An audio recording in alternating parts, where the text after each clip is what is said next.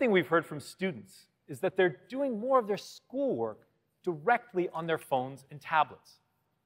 So we thought, could Circle to Search be your perfect study buddy? Let's say my son needs help with a tricky physics word problem, like this one. My first thought is, oh boy, it's been a while since I've thought about kinematics. If he's stumped on this question, instead of putting me on the spot, he can circle the exact part he's stuck on and get step-by-step instructions, right where he's already doing the work. Ah, of course, final velocity equals initial velocity plus acceleration times elapsed time. Right. I was just about to say that. Seriously, though, I love how it shows how to solve the problem, not just the answer.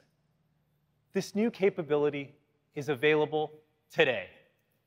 And later this year, Circle to Search will be able to tackle more complex problems involving symbolic formulas, diagrams, graphs, and more.